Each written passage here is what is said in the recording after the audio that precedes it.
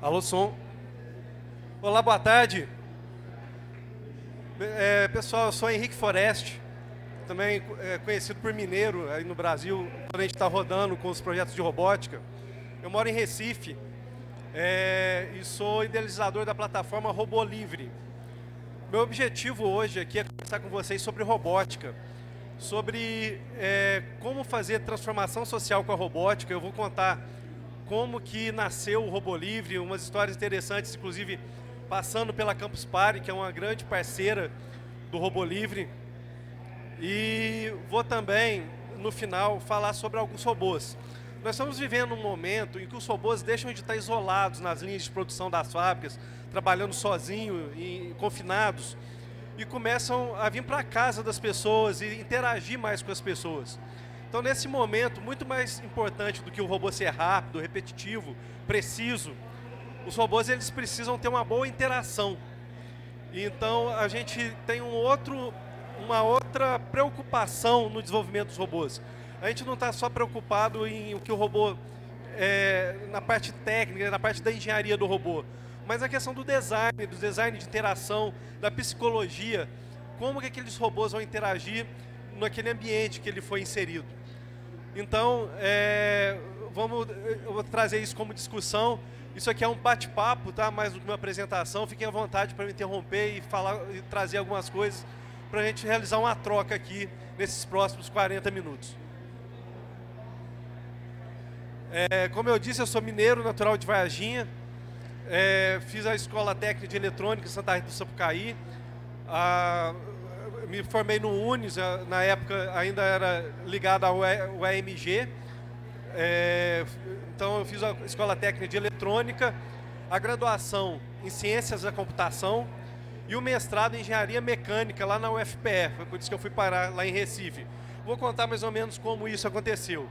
Eu começo trazendo uma reflexão, que o sonho, ele reproduz ideias, vontades e pensamentos que estão no passado, no presente ou no futuro. Isso é, eu acredito que com um sonho a gente consegue mudar inclusive o passado. A gente consegue mudar as coisas, a forma como a gente enxerga, e a gente consegue desenhar um futuro diferente, melhor. E é isso que todos nós estamos buscando. Eu tinha mais ou menos uns 5 anos de idade, quando é, as pessoas falavam, menino, não chega perto da tomada, é perigoso, leva choque.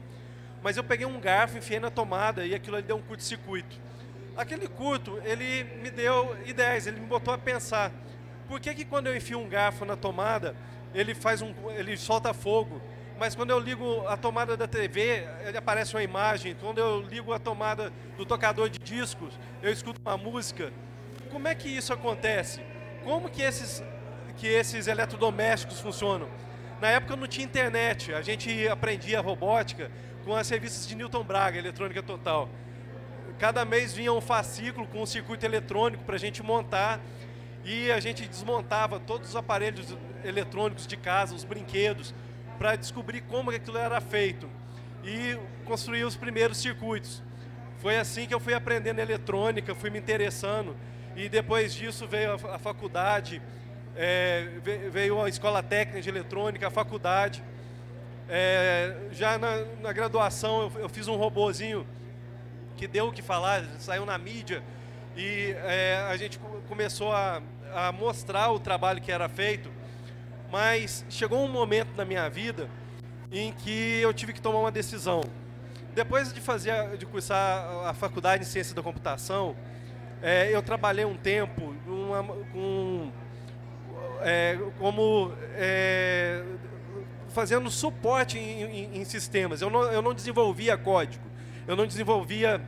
Eh, o que eu queria fazer era ser um desenvolvedor, mas eu trabalhava com manutenção. Eu andava em todas as agências da Caixa Econômica Federal, colocando os computadores em rede, reformatando, é, fazendo assistência técnica dos computadores.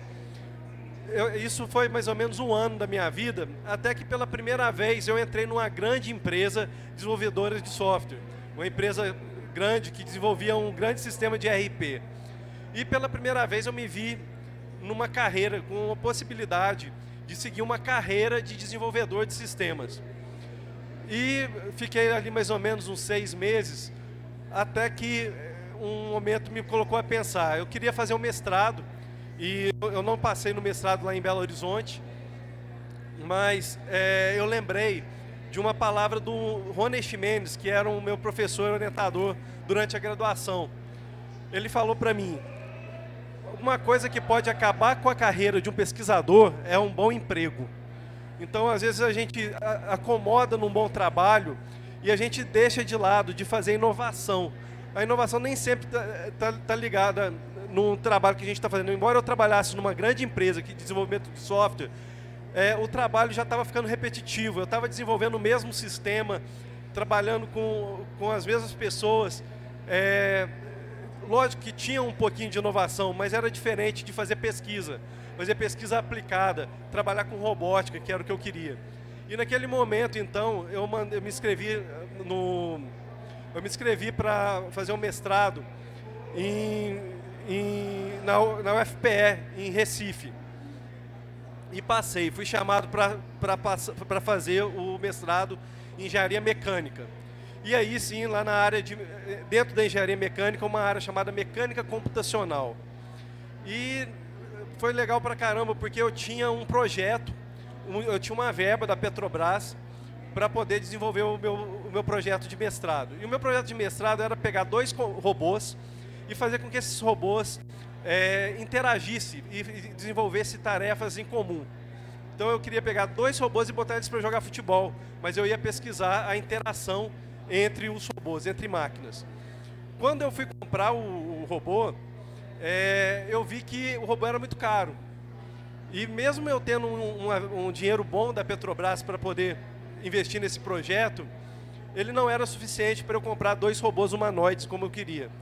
E eu percebi também que a grande maioria dos trabalhos que eu vinha pesquisando, de teses na área de, de eletrônica, é, na área de robótica, trabalhavam com sistemas de simulação. O, projeto final utilizava alguma simulação. Raramente eu via um trabalho que é, tinha um robô construído de verdade. Isso porque naquela época, em 2005, era difícil a gente ter acesso a robôs. Então, é, eu mudei completamente o lado da minha pesquisa. E ao invés de trabalhar com, com interação entre máquinas, é, eu fui trabalhar com o desenvolvimento de um robô bípede autônomo. Eu construí um robô com, com peças facilmente encontradas no Brasil, baseado em alguns projetos open source, e, desenvolvi, e é, entreguei em 2005 o projeto eletrônico, mecânico e de software desse robô. Eu deixei ele disponível na rede e naquela época eu é, eu comprei um domínio www.robolivre.org e coloquei o projeto desse robô. Assim nasceu o Robô Livre, um, um site estático muito feioso que tinha um link para baixar os projetos de é, os projetos de um robô. É, o tempo passou, né, em 2010 é, eu terminei o mestrado, é, fui para o Rio de Janeiro trabalhar numa empresa de telecom. É, e mais uma vez chegou num ponto de tomar uma decisão na minha vida. Eu estava sonhando, eu vinha no ônibus indo para o trabalho sonhando com dois problemas. O primeiro é que, embora eu tivesse colocado na internet o projeto do robô, apenas três pessoas tinham pegado o projeto do robô e montado. E, é, e, eu queria que mais pessoas tivessem acesso a esse robô, que mais pessoas pudessem desenvolver, melhorar ele e devolver para a comunidade. Então eu, pensei, eu pensava comigo, como fazer para que mais pessoas tenham acesso a esse robô? E o outro problema que eu tinha é que eu fui morar na casa da minha sogra e eu não tinha onde guardar um laboratório. Enquanto eu morava no Rio, eu comprei o, o, é, vários equipamentos e montei um laboratório de robótica na minha casa. E nesse momento eu estava sem onde guardar esse laboratório. Foi aí que eu sonhei, nesse sonho, de ir numa escola. Eu fui até uma escola que ficava em frente aonde eu trabalhava, e ofereci para a diretora é, de montar um laboratório de robótica dentro da escola. Essa diretora me cedeu uma sala e eu nessa sala montei um laboratório e comecei a dar aula de formas voluntárias para os alunos. Então eu consegui resolver dois problemas de uma vez só. Consegui um lugar para botar meu laboratório e comecei a dar aula para os meninos de robótica. E isso deu certo. Os meninos começaram a ficar mais tempo na escola, desenvolveram projetos, foram para feiras de ciência apresentar os projetos dos robôs. E aquilo foi me dando vontade de fazer mais e mais, de ter novas turmas. Outras pessoas me chamavam para poder desenvolver o projeto em outras escolas, mas eu não tinha tempo para poder pegar outras escolas e ir desenvolvendo esse projeto. Né? Aqui alguns projetos, os, os meninos, eles não queriam mais desenvolver o robô que eu propus a ele, aquele robô bípede. Mas eles tinham seu próprio projeto de robô. Esse aqui, por exemplo, é um cérebro que os meninos desenvolveram para mostrar. É, é um projeto com Arduino e vários sensores. Então tem sensor de som, sensor de tato, sensor de, de visão. E de acordo com o que você estimula o robô, a área do cérebro responsável por aquele sentido, ela, é, os LEDs ficam mais escuros, eles brilham mais naquela forma. Então é um projeto robótico que nem, é, nem, nem sempre é um robô, mas um projeto de arte e tecnologia que mostra outras formas de fazer as coisas para a gente. Então a gente trabalha com a robótica no Robô Livre, acreditando é, na arte e tecnologia, na fusão, aonde é, a robótica não é uma coisa das ciências exatas, é uma coisa também que envolve as artes. A, a robótica é uma forma de expressão é, artística. Bom, para poder fazer com que eu, para poder ficar mais tempo trabalhando com a robótica, fazendo esses projetos de interação e o que a gente chama de transformação social com a robótica, né? Eu pensei, é, eu precisava de ter mais tempo. Eu, só com o meu tempo extra, livre, não dava para fazer isso. Eu chamei outras pessoas com, com tempo livre também para trabalhar como voluntário. Mas era algo que ia, começava, mas não terminava. As pessoas tinham que fazer, tinham que ganhar o seu dinheiro, tinham que ter o seu trabalho e acabava abandonando o projeto. Então eu pensei em modelar um negócio. Eu modelei um negócio, um negócio social e criei uma startup. Transformei o Robô Livre numa startup. Dessa forma eu consegui me alocar trabalhando com a robótica e consegui contratar algumas pessoas. Eu consegui aprovar um projeto com a FACEP, que era um projeto de subvenção econômica para desenvolvimento de novos produtos, e consegui aprovar um projeto com CNPq. E com esses projetos, eu consegui montar uma rede de desenvolvimento colaborativo. Então, aquela página estática que tinha só o projeto de um robô, virou uma rede. Hoje ela está disponível em www.robolivre, é, robolivre.re. Essa é uma senha que eu convido todos a vocês a conhecerem essa rede. Lá a gente tem mais de 6 mil pessoas cadastradas e a gente tem é, mais de 200 projetos de robôs. E aí vem uma história interessante. A gente aprovou o projeto de subvenção, conseguiu contratar uma equipe grande para desenvolver essa rede, mas de que, que adianta você ter uma rede sem ter pessoas dentro dessa rede? E um, um outro momento da minha vida muito importante, é, em 2013 eu estava lá em Recife, com a, essa rede ficando pronta, e eu precisava de divulgar, eu precisava de alguma forma divulgar para as pessoas é, que existia essa rede de desenvolvimento colaborativo e que as pessoas pudessem entrar nessa rede. E é, sem ter muito o que fazer, eu estava lendo um jornal e tinha uma matéria.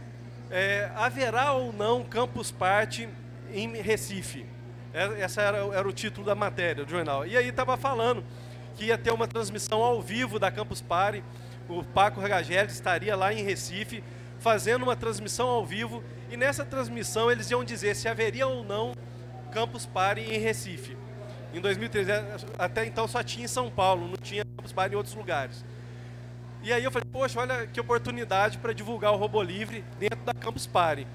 Mas como é que eu faço isso?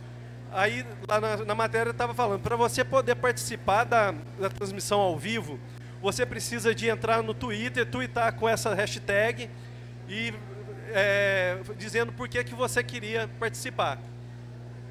Eu entrei lá na, na, no Twitter, eu, eu tuitei e esperei eles me chamarem para ir para a transmissão ao vivo. Só que eu não fui sorteado, haveria um sorteio, eu não fui selecionado para ir para a Campus Party, para essa transmissão ao vivo. E, é, e falei, não vai dar para eu mostrar o meu trabalho lá na campus. Né? É, eu já conhecia a campus, já era campuseiro, já tinha ido a algumas campos São Paulo, e eu sabia que estar na Campus Party é, era muito importante para o Robô Livre poder aparecer a nível nacional, para a gente poder mostrar o que é o Robô Livre. E aí eu fiquei pensativo até que um amigo meu me ligou e falou assim, olha, eu fui selecionado. Eu mandei o Twitter, eles me selecionaram, me mandaram um e-mail dizendo que para mim poder participar da, da, da, live, eu tenho que mandar um, um e-mail para esse endereço aqui com o meu nome e CPF. E aí meu nome vai estar lá na portaria do lugar onde vai estar acontecendo a live. Eu peguei, mesmo sem ter sido sorteado, e mandei o um e-mail para o endereço que esse meu amigo tinha tinha é, que mandar. E falei, vou tentar a sorte. Mandei um e-mail como se eu tivesse sido selecionado, com meu nome e CPF. E fui lá para a transmissão ao vivo. Não satisfeito em ter entrado de penetra na transmissão ao vivo, eu fiquei esperando quando o Mário Tesa, Mário Tesa na época era, fazia o papel do Tunico, faz hoje. Ele era o, o presidente do Instituto Campus Party. E eu fiquei esperando, quando eu vi Mário Tesa entrando dentro do lugar que ia ter a transmissão, eu entrei junto e sentei do lado dele. E naquele tempo que você fica esperando para que, que, comece a, a, transmissão ao vivo, eu fiquei conversando com ele. E deu tempo de eu fazer meu pitch e mostrar para ele o que era o robô livre que eu vinha criando e a, que eu queria, de alguma forma, mostrar o campo, o, robô livre para a comunidade. E é, nisso começou a transmissão ao vivo, eu fiquei lá quietinho no meu canto, e a, a, transmissão foi rodando até que chegou o momento. Haverá ou não Campus Party em Recife? Aí Mário Tesa pega o telefone, pega o microfone e, e diz: haverá sim a Campus Party em Recife. E o nosso curador da área de robótica vai ser o, Henri, o mineiro da Robo Livre. E aí eu não só fui de penetra na transmissão, quando eu virei curador da área de robótica da Campus Party. Desde 2013 é, eu venho com um papel bem. O Robo Livre pode, é, pode ter um papel bem relevante dentro da campus, e é por isso que a gente atingiu é, o que a gente tem hoje, 6 mil pessoas é, a nível nacional. Eu acho que a gente deve isso muito a campus. E eu convido vocês que estão aqui. Quem é a primeira campus? A grande maioria. Convido vocês a irem também depois na campus em São Paulo. Mas eu acho que haverá, haverão novas campus aqui em Goiânia também. Eu estou achando muito legal o calor que está aqui, as pessoas é, envolvidas mesmo e convido vocês a participarem da comunidade campus, que isso não fique aqui, que não acabe domingo. A campus ela não acaba domingo, ela continua. Ela, não sei se vocês viram o pessoal que estava conversando aqui antes, o Alexandre do Case Monstro, que está rodando o Brasil todo, instalando laboratórios no projeto Include. É, a campus ela não é uma coisa que acontece e, e acaba.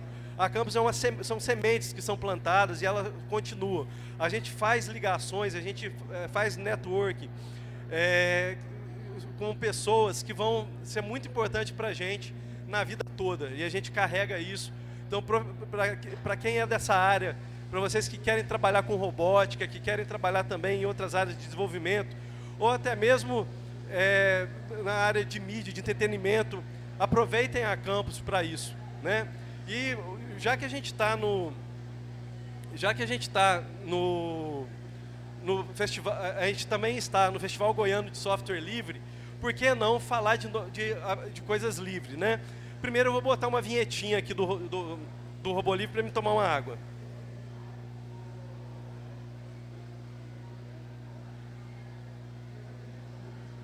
Áudio. Áudio porque a gente acredita que é a forma de dar oportunidades e liberdade para as pessoas. Por que trabalhar ensinando robótica aos jovens? Porque a gente acredita que é a forma de dar oportunidades e liberdade para as pessoas escolherem desde cedo que caminho vão seguir. Claro que em qualquer momento da vida a gente pode e deve mudar. Mas é na juventude que o mundo se abre e você começa de fato a fazer escolhas para a vida. E queremos que esse mundo se abra mesmo, se abra valendo. Não é porque você não tem grana, nasceu fora dos centros urbanos, longe de tudo que acontece, que não pode ter acesso à tecnologia, à inovação, ao novo. A gente vai até você. Vem até a gente. É fácil fazer e é para você. Robô livre. Então assim nasceu a Robô Livre. Dentro da campus ela conseguiu se expandir e hoje a gente está no Brasil todo, no Uruguai e na Argentina, fazendo robótica e de forma aberta, com projetos open source, é, estimulando a utilização de plataformas abertas, de softwares abertos e desenvolvendo também algumas ferramentas. E dentro dessas, é, a gente tem o, o, o, kit Robô Livre, que são materiais, é, é, uma seleção de materiais que a gente monta uns carrinhos, é, como por exemplo o Crafter, que é um projeto open source, uma plataforma cortada na, impressora, é, na impressão a laser, então laboratórios que tem uma máquina de corte a laser, hoje já tem bastante espalhado pelo Brasil, pode criar, é, pode baixar é, gratuitamente o, os arquivos em PDF e montar seus robôs. E temos o Franzininho. Quem aí conhece o Franzininho? Uma outra plataforma que nasceu também na campus com Thales, é, com Thales e Fábio Souza. Eles desenvolveram uma placa de Arduino, no Arduino Day, na verdade, que nasceu isso, mas é, na campus, no Fisli e no Latinoé foram outras plataformas que ajudaram a, a concluir o projeto e a propagar esse projeto. Então o Franzininho é uma placa de Arduino open source também. É, tem o site franzininho.com.br, onde você pode baixar, o, tem toda a documentação, todo o projeto e é, eles também distribuem umas plaquinhas para você soldar os seus componentes e montar seu próprio Arduino. Então o Franzininho é uma plataforma também open source muito legal. E eu vou falar do Jabuti Edu. Jabuti Edu, que foi criado pelo Eloy, lá do Rio Grande do Sul, é uma plataforma de, com processamento mais poderoso. Ela usa um Raspberry Pi, que é um PCzão embarcado ali, e é, também é um projeto para robótica educacional. Ele também libera os arquivos para você poder imprimir o seu Jabuti e tem toda a documentação para você montar e utilizar os softwares que eles desenvolveram e deixaram aí liberados como software livre. Então, gente, essa foi a primeira parte da nossa conversa de, de, de hoje. E agora vamos falar um pouquinho dos robôs. É, vamos é, falar um pouco menos da robótica com educação, mas falar dos robôs que, que estão entre nós, os robôs que estão no mundo. Para falar dos robôs, é, primeiro a gente vai, eu vou fazer uma divisão. Quais os tipos de robô que existem? É, os robôs eles é, são classificados pelo ambiente onde eles estão, onde eles foram colocados. Então existem robôs aquáticos, robôs que, que funcionam no oceano. Esse robozinho aqui, que eu vou mostrar um vídeo dele para vocês, da Liquid Robots. Peraí.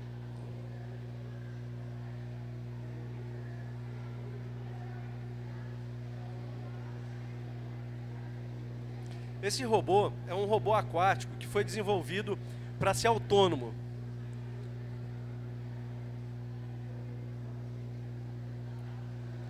É, ele tem um painel solar e ele fica, ele fica andando no oceano. Para ele se locomover, ele usa um sistema mecânico que, com a maré, dá força para ele se locomover. E a parte eletrônica dele é um painel é alimentado por um painel solar.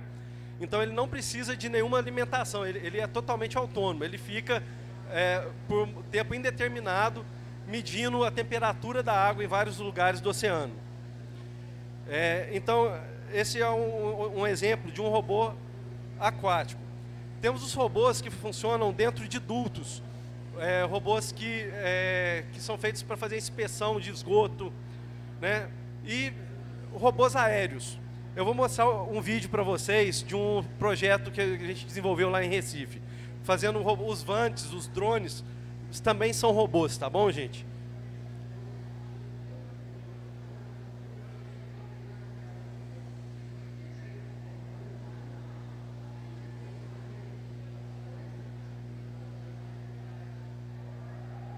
Tem áudio.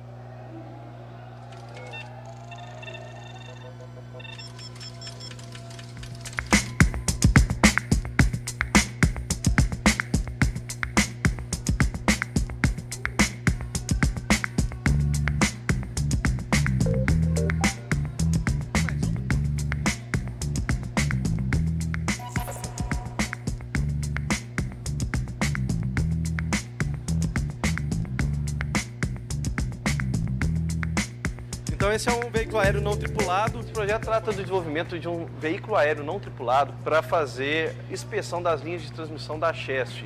A grande inovação é o fato dele ser autônomo. Ele é capaz de decolar, realizar uma missão e voltar à base sem a necessidade de nenhuma intervenção humana. Existe uma equipe trabalhando com sistemas aviônicos de asa fixa no ITA e aqui no César a gente desenvolve os helicópteros autônomos. Uma asa rotativa, ela gera muitos ruídos no sistema.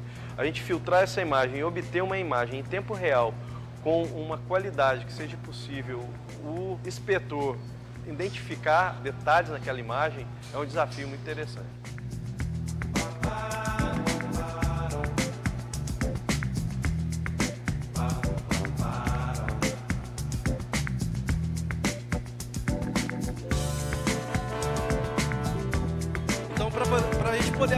As necessidades do projeto, a gente precisava que o Vant tivesse autonomia de duas horas, carregando uma, uma câmera de infravermelho que pesa em torno de 800 gramas ainda hoje é difícil achar um drone que consiga carregar esse peso todo. E quanto mais é, em 2012, que foi rodado esse projeto.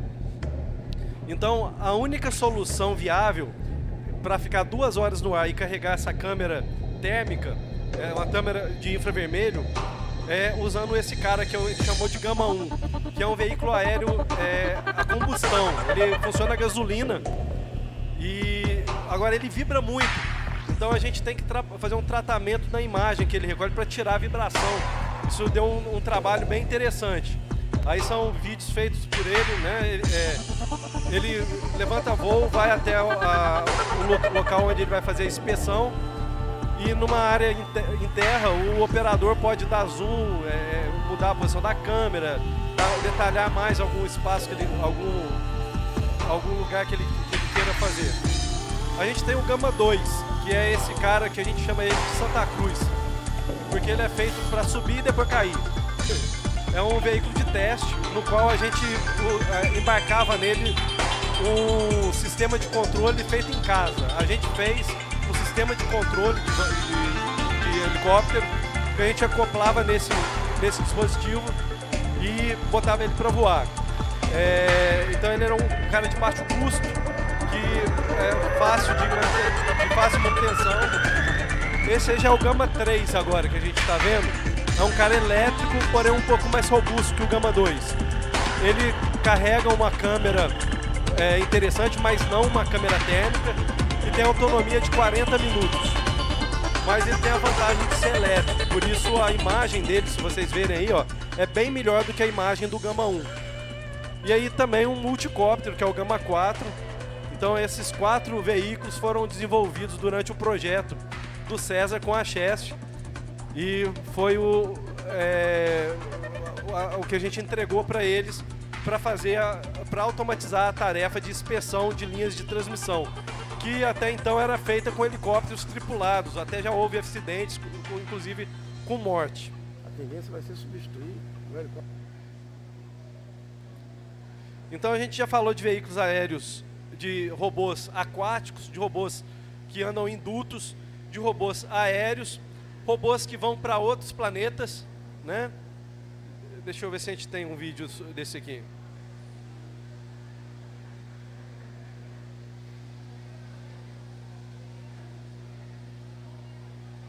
Esse a gente não tem não. number one craziest robot on our countdown has been in the news recently after finding mysterious shiny objects on the Então esse é um, é um videozinho mostrando o, o, o Opportunity que foi enviado para Marte. Ele pousa lá no planeta e, e ele é, essa é a, é a máquina que, que, que lança ele, né? Ou seja, não pode errar. Bradbury landing site was less than 2.4 kilometers from the center of the rover's touchdown target. Então eu acho que é um desafio muito grande você desenvolver robôs que vão trabalhar em ambientes nocivos quanto em outros planetas e você tem uma chance de enviar ele, você não pode errar, né? teve um, um, que caiu no, no, lugar de sombra e, e não, não, não pôde conseguir, é, não pôde carregar a bateria, né? E aí ficou muito tempo sem poder, sem poder ser utilizado. Bom, Vamos andar que a gente só tem mais 15 minutos. Já subiram a plaquinha para mim. Vou correr um pouquinho mais porque as plaquinhas já estão chegando aí. É, a iRobot é uma empresa que fazia robôs para guerra. É, deixa eu botar um, um vídeo dela aqui.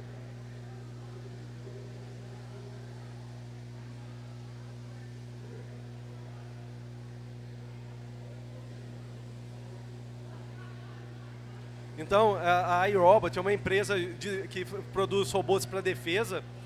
É, ela criava robôs que tinham que fazer a, a inspeção num campo minado. Então, o robô tinha que andar por todo o campo para ter certeza que não ficou nenhuma mina escondida ali.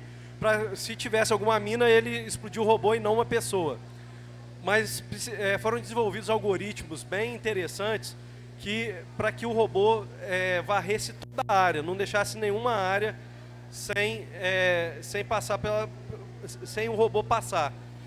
E esses mesmos algoritmos foram utilizados depois num robô doméstico, que já está sendo vendido aí na Polishop, já vende o Rumba, eh, já está na casa de várias pessoas, um robozinho que varre a casa. Ele foi desenvolvido também pela iRobot, a mesma empresa que fazia os robôs de guerra, e foi utilizado a mesma tecnologia.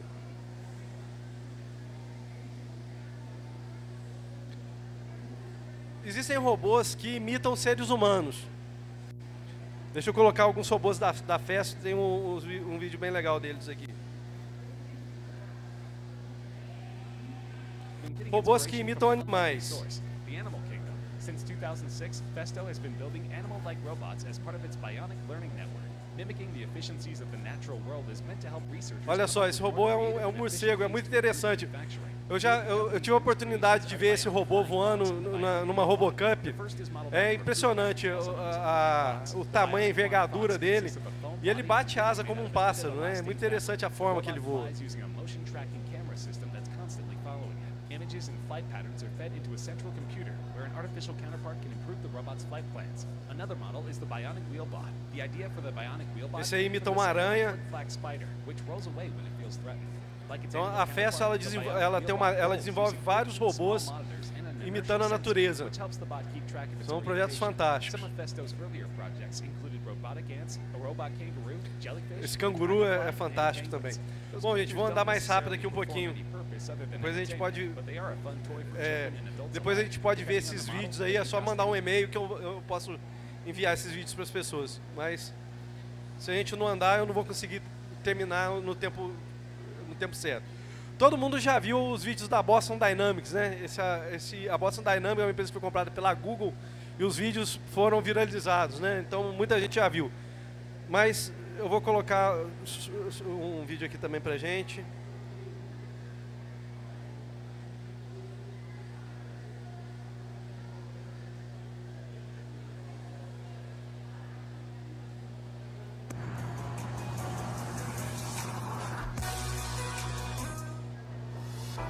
Olha só, robô que vira um. É muito fantástico esses humanoides aí.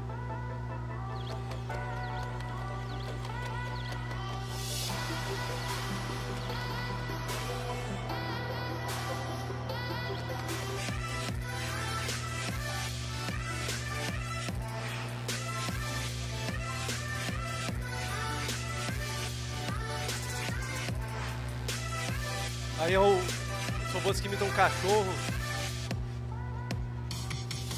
É interessante ele o- o controle que você faz, uma parte dele fica parada enquanto ele movimenta as outras. E ele faz a compensação.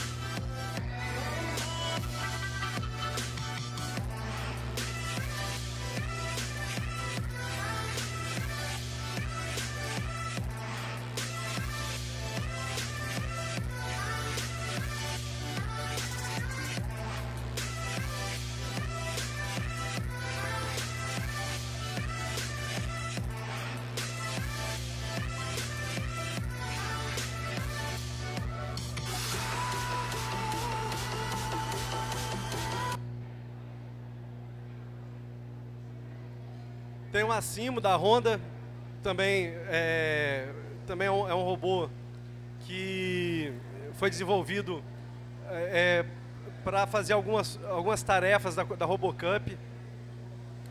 Robôs que parecem gente, né, que são os gnoides. Quando parece com mulher, o robô chama gnoide. E quando ele tenta imitar um homem, ele é um androide. Então, um robô humanoide, ele pode não ser é, como o Acimo, por exemplo, é um robô humanoide, mas que ele não tenta imitar um ser humano. Todo mundo sabe que ele é um robô. Então, ele não é androide, ele é um humanoide. Já esse robô que, que tem a, a pele, a textura, o cabelo, ele tenta realmente imitar um ser humano, é, é chamado de gnoide quando é mulher e androide quando é homem. E aqui são os robôs na linha de transmissão, na, nas linhas de produção de fábricas. Robôs existem desde 1960 nas linhas de transmissão das fábricas. Já existem fábricas totalmente robotizadas, como essa planta que eu mostro aqui. Mas esses robôs, eles são todos, eles trabalham de forma isolada. Né? Eles ficam dentro de um envelope e se algum ser humano entrar dentro desse envelope, ele para de trabalhar.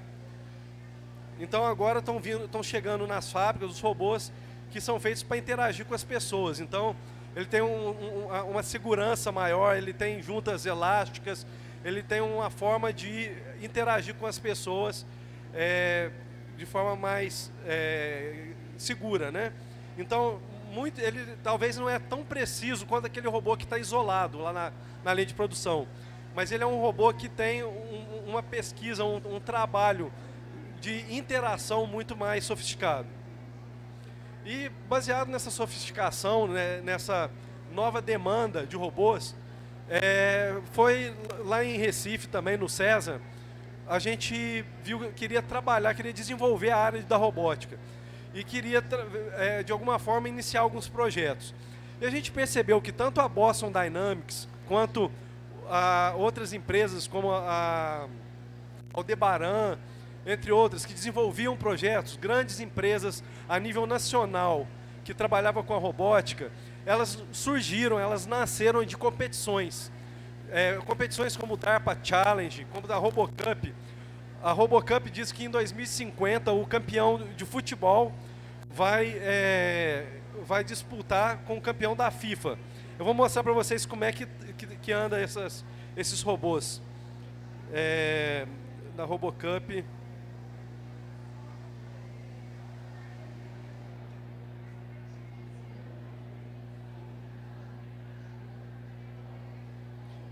Então, é, vou mostrar aqui como é que anda os robôs que estão competindo na RoboCup. A RoboCup tem várias ligas, né? Então essa aí é o futebol medium size. Os robôs já estão jogando bola bem legal. E já existem também os robôs humanoides. Né? Os humanoides ainda estão bem pernetas ainda, perna de pau, tão, vão caindo. Essa aí é uma outra, uma outra liga chamada At Home, que são robôs que são desenvolvidos para conviverem no ambiente doméstico. Tá? É, eu vou falar um pouquinho mais dessa, dessa categoria, por isso ela vai, vai mostrar mais tempo esses vídeos aí.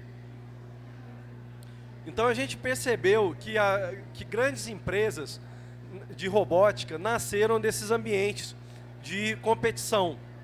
E a gente falou, então por que não entrar numa competição de robótica? E em 2014, é, aconteceu no Brasil a etapa mundial da RoboCup. E a gente foi, foi em João Pessoa, lá pertinho de Recife, a gente pôde ir lá ver. E a gente percebeu que na liga At Home não tinha nenhum representante brasileiro, só tinham robôs de outros países. Então a gente falou, vamos entrar nessa liga, vamos desenvolver um robô para a gente ir para essa liga no ano que vem. Então a gente teria um ano para desenvolver um robô para participar da liga At Home. E é, começamos, fomos ver como que era que, que fazia para poder se inscrever e descobrimos que para se inscrever no, na RoboCup mundial, a gente precisava passar primeiro pela Liga Nacional. E a Liga Nacional faltavam dois meses para ela acontecer. E aí a gente não tinha muita, é, muito tempo para fazer alguma coisa, mas a gente falou assim, vamos assim mesmo. A gente pegou um robô que a gente tinha feito com sucata, que é o Isaac, esse robô que está aqui na foto. É, ele, é, um, ele era feito, feito um caixote usando um, a base dele é um computador velho, um PC, com dois motores de vidro elétrico de carro. Então, um robô totalmente é, artesanal, muito inferior aos robôs que a gente via lá na liga. Mas esse robô foi desenvolvido com um carinho muito grande. Ele tem a carinha do Isaac, né? Eu vou mostrar aqui um vídeo, um vídeo dele. Já estão levantando a plaquinha para mim. Eu vou ter que correr, mas esse vídeo eu acho que vale a pena mostrar do Isaac.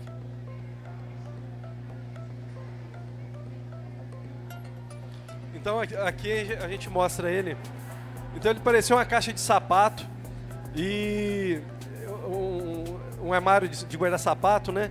Com um gabinete velho, mas ele já reconhecia voz. Então ele conseguia conversar com as pessoas, a gente conseguiu fazer isso em dois meses. Aí o cara tá conversando com ele. Eu acho que tem um áudio aí, amigão. Tem um áudio, eu acho. É,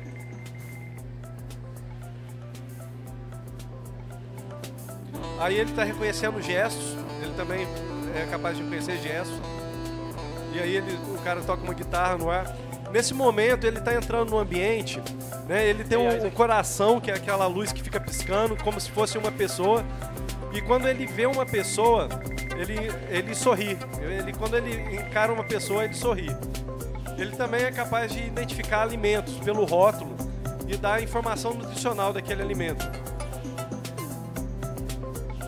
Ele agora está fazendo um, um, treinamento com a pessoa, ele está falando para a pessoa fazer um exercício, ele fica verificando se a pessoa está realmente levantando o braço como ele levantou, como ele pediu.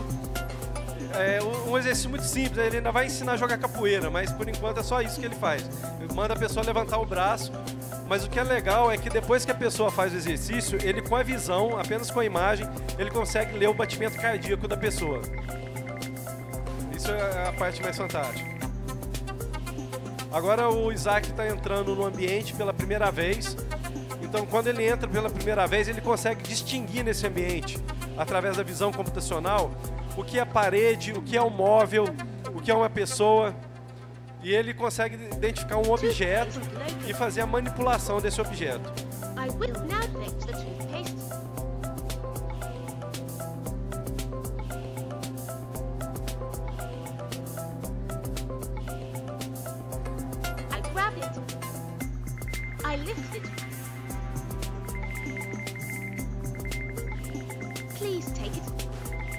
Tempo, nosso tempo está acabando. Eu vou ter que terminar o vídeo aqui. É, ele consegue perceber que uma pessoa cai, ele consegue identificar a queda e pode ligar para emergência, por exemplo, para cuidar de idosos.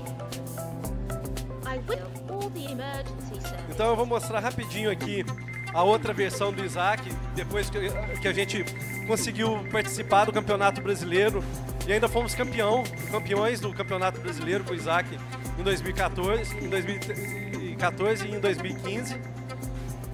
É, e em 2016 nós fomos, em 2015 nós fomos para a China e em 2016 nós fomos para a Alemanha disputar o campeonato é, mundial, já com essa versão nova do Isaac, que ele é todo arredondado, ele não, não tinha quinas, e o nosso desafio era depois fazer uma versão que fosse abraçável. Né? Aqui ele andando pelo mundo, ele com outros robôs, os robôs que disputaram com ele, e é isso, gente. Foi isso que eu trouxe para vocês hoje. É, falando um pouquinho, principalmente do robô livre e dos robôs que estão aí chegando nos dias de hoje. Eu acho que se alguém fizer, quiser fazer alguma pergunta, ainda dá tempo? Dá tempo para uma pergunta, se alguém quiser. Alguém? Alguém?